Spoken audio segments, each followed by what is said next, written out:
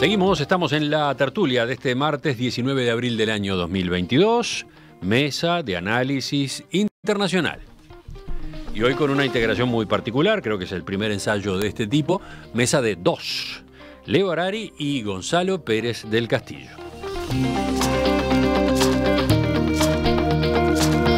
Otro asunto de especial interés por estas horas, un tema político europeo que tiene pendiente a una parte del mundo también. Francia celebrará este domingo la segunda vuelta de las elecciones presidenciales, donde se enfrentarán el actual mandatario, Emmanuel Macron, del partido de centro-derecha La República en Marcha, y la diputada Marine Le Pen, líder del partido de extrema derecha Agrupación Nacional. J'en mesure avec humilité toute la responsabilité. J'y vois l'espoir. L'espoir que se lèvent les forces de redressement du pays. Lors de ce premier tour, les Français ont manifestement tenu à arbitrer par le pays un choix fondamental entre deux visions opposées de l'avenir. Soit la division, l'injustice et le désordre imposés par Emmanuel Macron au profit de quelques-uns, soit le rassemblement des Français autour de la justice sociale et de la protection garantie par un cadre fraternel autour de l'idée millénaire de nation et de peuple. La bataille que nous menons n'est pas simplement une bataille pour la France, c'est une bataille pour l'Europe. Parce que le projet d'extrême droite qui est face à celui que je défends en votre nom à beaucoup ici présents, c'est un projet. Il se cache. Maintenant, il est plus ambigu. Mais c'est un projet de sortie de l'Europe. Cinco días de la votación, ¿qué dicen las encuestas? Bueno, muestran a Macron con 53 a 55%, eh, o sea, con un triunfo por delante, pero con apoyo menor al que obtuvo en el balotaje anterior frente a Le Pen, cuando alcanzó el 66% de los votos.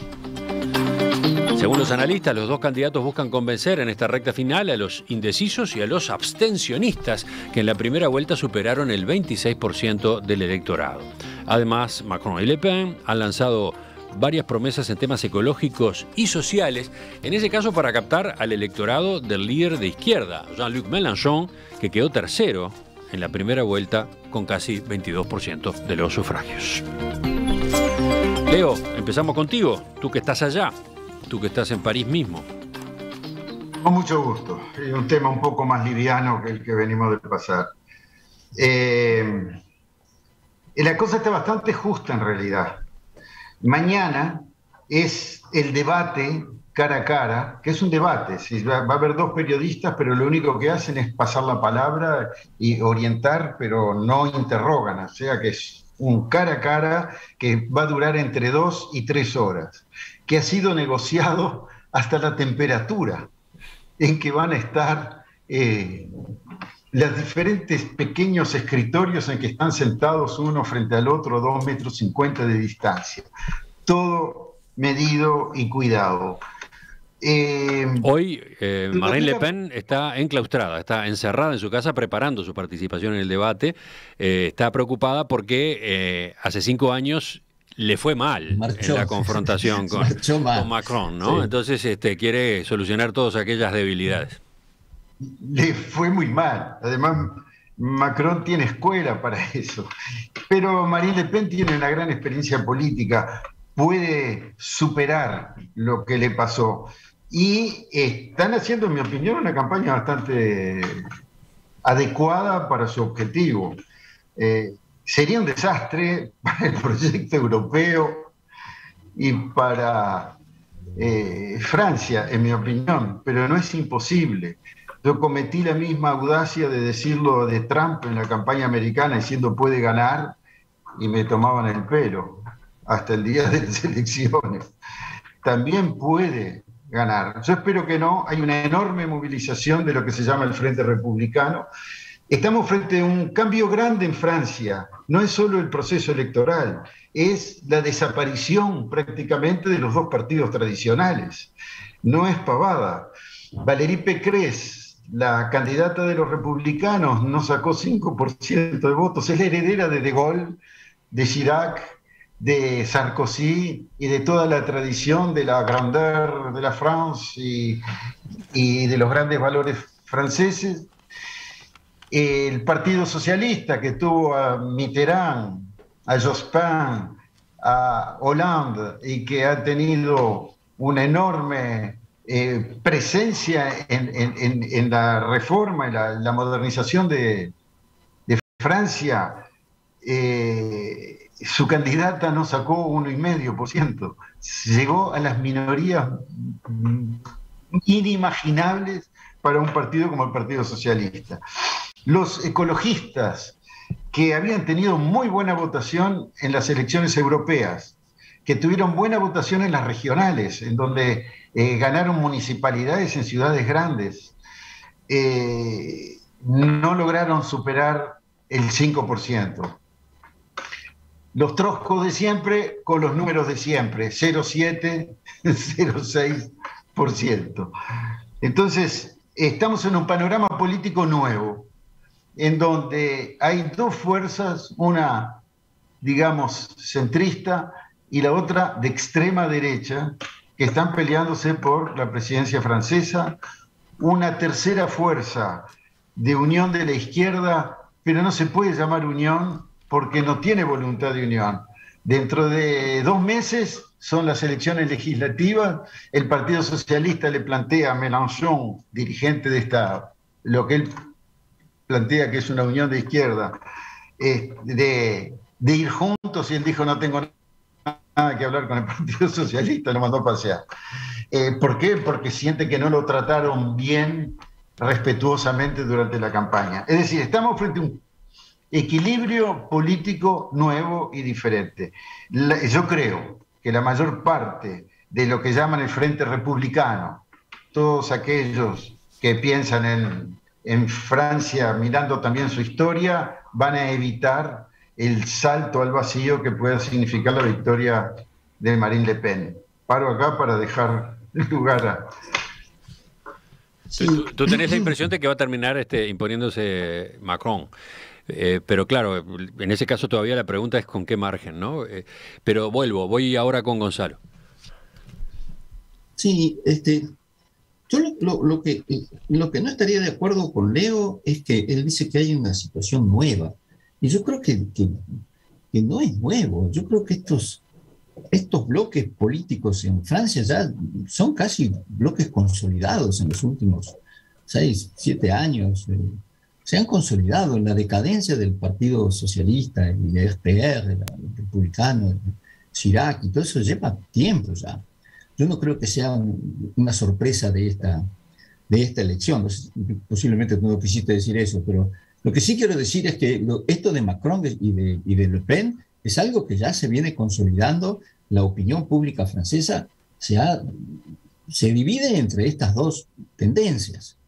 Este, y lo, lo grave es que si llegara a ganar eh, Le Pen, que yo no creo que vaya a suceder, este, porque creo que todavía en, Francia Le Pen es, es, en medio del diablo, él es, hay, tiene mucho voto en contra Le Pen. Este, así que creo que, Macron va a ganar. No tanto porque entusiasme a los franceses, porque creo que, Macron ha tenido, Macron vino con, cuando apareció, era una persona joven, brillante, tenía todos los títulos que los franceses quieren, tenía l'ENA, Sciences Po, tenía todas las condiciones, y un tipo brillante además. Pero su gobierno fue bastante eh, desilusionador. Eh, el, tema de, los, de las protestas de los famosos gilets jaunes, estos, no lo supo manejar. Los chalecos amarillos. sí, no los chalecos amarillos. Eh, y, después ver, creo que hubiera otros colores, después Leo sabrá más que yo de esto. Pero no lo supo manejar. Esto fue una derrota para él. El tema de la pandemia tampoco lo manejó bien. Yo tengo familiares en, en Francia y el, la situación, la forma en que se enfrentó la pandemia ya en Francia no tuvo nada que ver con lo que hicimos acá en el Uruguay. O sea, la gente estuvo encerrada. Para salir de tu casa tenías que hacer una atestación que tú mismo escribías para dar una vueltita, no podías ir a más de un kilómetro de tu casa, tenías que decir por qué estabas saliendo, si te agarraba un policía, que era ir a la farmacia, ir a comprar algo al supermercado o, ir a ayudar a alguien que no podía salir de su casa. O pasear al perro, que me lo han pedido prestado para poder salir de la casa. pasear al perro también es que no, me lo incluyeron en la lista. espera, espera, me queda la curiosidad ahí. ¿Y lo prestaste efectivamente? Está bien, el perro es un anarquista, ¿no? Es, es imprestable se come al que lo saca a pasear. No, este, se pone a opinar de política, ya, lo hemos escuchado a Puck, ¿no? Más de una vez. Este, capaz que por eso justamente también le interesaba a los vecinos tener con quién discutir en la caminata. Es un misterio que el perro no haya aparecido en esta tertulia. No sé qué habrá hecho con él. Lo habrá metido. Se, quedó en Una buena negociación porque no lo muerda. No, el perro no se puede salir a pasear con ese perro. Pero en fin, en Macron fue una desilusión porque se esperaban muchas cosas de él. Entonces yo creo que los franceses ahora quedaron atrapados en esta... Y, lo, que, lo que a mí me, me, llama la atención de esta, de esta vuelta en Francia, y creo que va a ser peor en el balotaje, eh, es que como el voto en Francia no es obligatorio, hay mucha gente que simplemente no va a ir a votar. Yo hablaba el otro día con una gente que había votado a Mélenchon, y ellos dijeron, no, que la gente que votó a Mélenchon no necesariamente. Mélenchon dijo ningún voto para Le Pen. Pero la mayor parte de, esa gente posiblemente se abstenga, no vaya al voto. Y, además creo que hay otro factor que Leo podrá aclarar, que es que esta segunda vuelta se hace en un momento en que todos los franceses están de vacaciones. las, las escuelas en Francia tienen vacaciones por regiones y por turnos, es un sistema complejo. Pero ese día en que van a votar, toda Francia está de vacaciones. Entonces va, a haber una altísima este, abstención. Y, creo que eso, eso posiblemente favorezca a Macron. La verdad es que no lo sé. No, pero, eh, pero, sí me parece que hay una gran confusión. Y, y, creo que Francia, junto con el resto de Occidente, está necesitando volver a sus bases y decir, bueno, ¿qué es lo que nosotros realmente queremos como sociedad? Y volver a creer en eso. Eh, Leo, tú decías que, eh, que si la abstención sube, ¿se beneficia Marine Le Pen? Sí. La verdad es que no lo sé. no, lo sé. Creo eso. Leo, pues. Porque son. La, la, abstención es diferente que los indecisos. Y la, la abstención juega en, en contra, o digamos, en contra de aquellos que no tienen una base militante fuerte. La derecha de doña Le Pen tiene una militancia fuerte. Esos van a ir a votar, van a volver el domingo más temprano de las vacaciones para votar. El indiferente va deja caer. La gente de Melanchón están divididos más o menos en tercios. Hay un tercio que no le importa, hay un tercio que van a votar a Macron por compromiso republicano, y después hay un otro tercio que flota, entre el cual decían 18% votaría Le Pen, mm. porque una parte de los que votaron a Melanchón son los descontentos de las clases más humildes. ¿eh?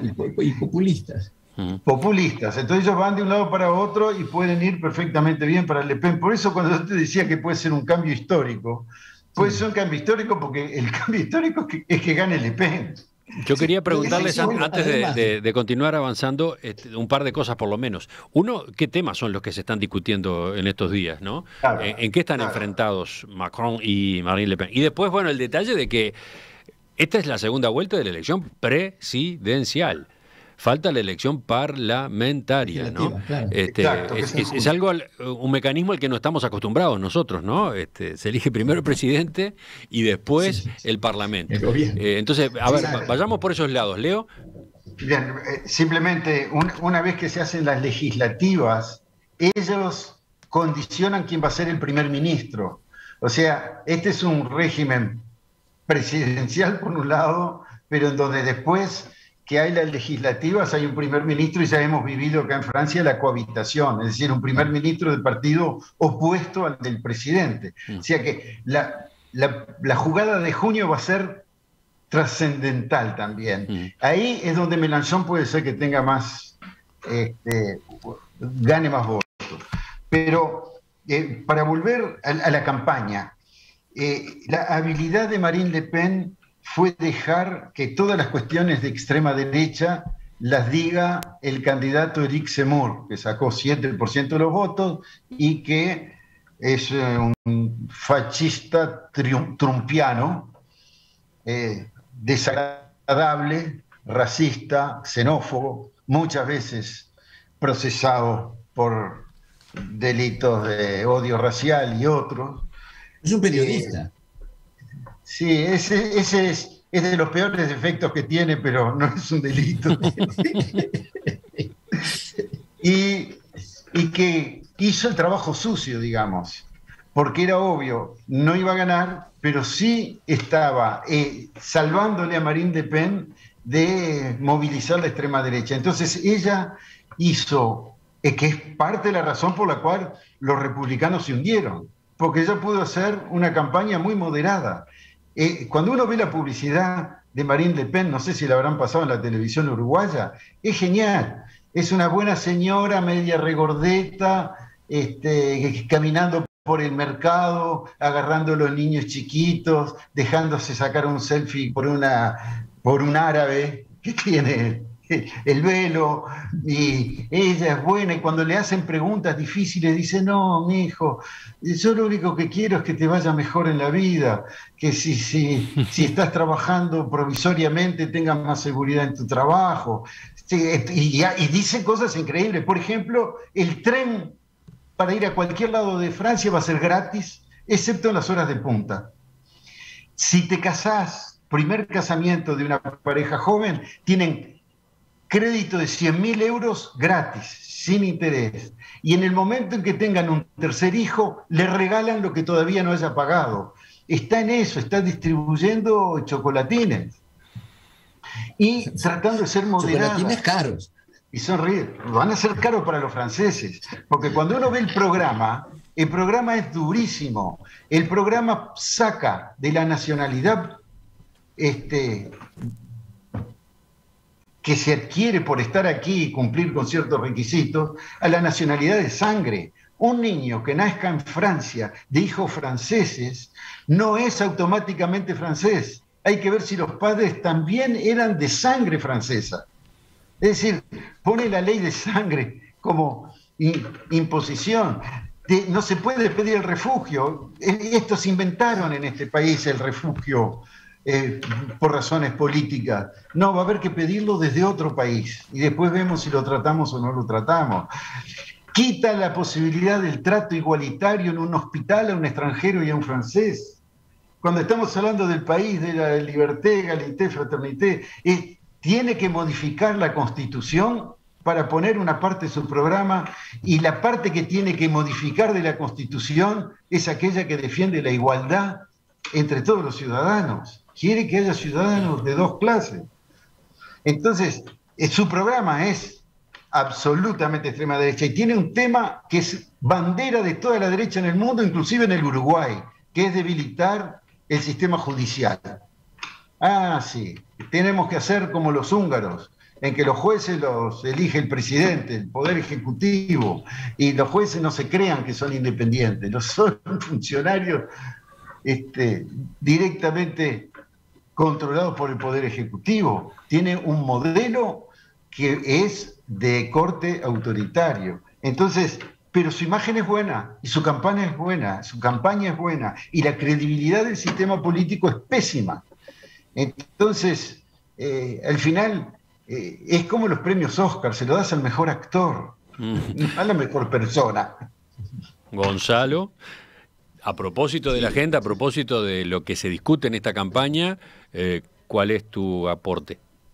Bueno, yo, volviendo a la primera pregunta tuya, yo creo que, Macron, en, grandes términos, quiere una Francia liderando un bloque eh, importante como es la Unión Europea, cada vez más importante ahora con los sucesos que están sucediendo ahora, este, y, mira a, Francia como líder de un, gran bloque internacional.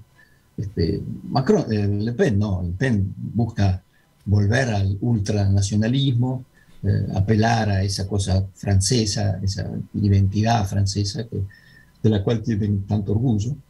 Este, y, a mí me parece que, que es eh, totalmente retrógrado en este momento del mundo este, ese tipo de, de, planteo político, pero lamentablemente en Europa y no solo en Europa, está ganando mucha fuerza. Este, la gente eh, vuelve eh, en un momento en que el mundo requiere de una internacionalización, de una globalización, de, de, tratar de imponer un orden jurídico internacional que pueda regular las cosas que tenemos que hacer todos juntos y que son de beneficio para todos juntos. Este, hay gente que resiste, resiste en todas partes. Este, hasta en los Estados Unidos de América, por supuesto. Por eso tenemos fenómenos como los que tuvimos. Así que yo creo que la diferencia fundamental es esa. Yo creo que, que, yo espero que, que, Macron gane.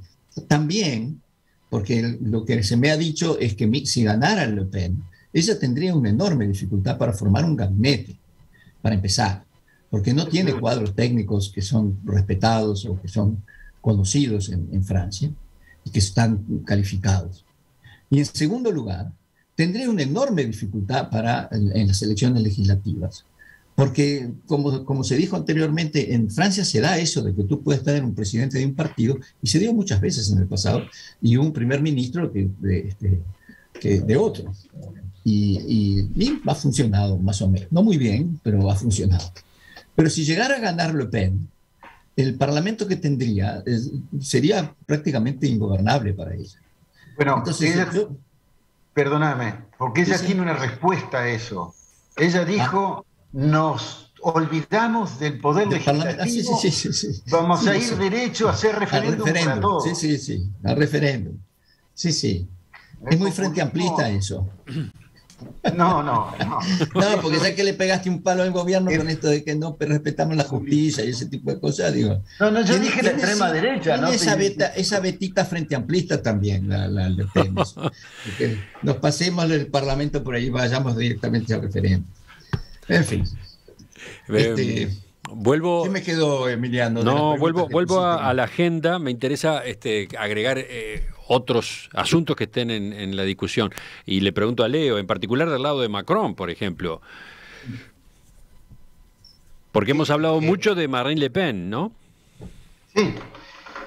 Macron eh, en estos momentos está haciendo campaña para seducir a los votantes de Mélenchon. No tiene esperanzas de sacarle votantes a Le Pen. Los que votaron en la primera vuelta la van a votar en la segunda. Ni tampoco a, los pequeños grupos. Mélenchon ha sido mayoritario con la gente joven. Ha sido mayoritario en las islas de, ultramar, lo que son las colonias francesas, eh, en particular en el Caribe, pero en el Pacífico también. Y tienen, eh, los jóvenes son quienes están más cerca. Y dentro de los jóvenes, la sensibilidad que extrañamente no es tan grande en Francia sobre la ecología y el medio ambiente. Eh, la ecología ha quedado siempre como una cuestión local, un problema de proximidad y no como una cuestión de una visión política. Nunca tuvieron una visión realmente coherentemente política para enfrentar los problemas del medio ambiente. Entonces ahí es donde está empezando a hablar, diciendo mi política va a ser ecológica, mi primer ministro va a ser el que coordine las cuestiones hacia una transición ecológica y va a haber dos ministerios que lo van a acompañar todo el tiempo, uno de organización del territorio y el otro vinculado a las finanzas, para que estemos seguros que podemos hacer profundos cambios. Es una de las eh, declaraciones más importantes que hizo anteayer en Marsella. Sí, sí. ¿Puedo, puedo, puedo, decir, hacerle una crítica ahí a Macron, que dijo que su gobierno iba a ser ecologista o no ser.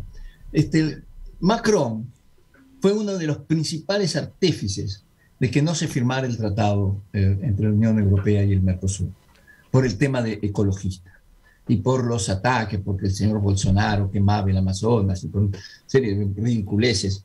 Este, que nunca supieron especificar bien, pero que sí bloquearon un eh, acuerdo entre la Unión Europea y Mercosur, que hubiera sido mucho más beneficioso para la Unión Europea que para el Mercosur, que hubiera sido beneficioso para nosotros también. Pero estos lo bloquearon y Macron fue fundamental. Y hay dos cosas que sucedieron. Primero que ahora sigue hablando de ecología para el futuro, pero a nosotros, el embajador de la Unión Europea aquí en Montevideo, que tuvimos varias discusiones con él y por suerte ahora ha sido reemplazado, un señor alemán, nos decía en el Curi, que tuvimos varias reuniones sobre esto, nos decía, ustedes no entienden la importancia de los verdes. entonces ustedes tienen que tener paciencia con estos temas, porque los verdes, que es una cuestión política interna de ellos, que nada afectaba el tratado. Y la verdad es que los verdes si no recuerdo mal, sacaron algo así como 3% de, de los votos. Este, sí, 3.3 creo. Lo que es ridículo.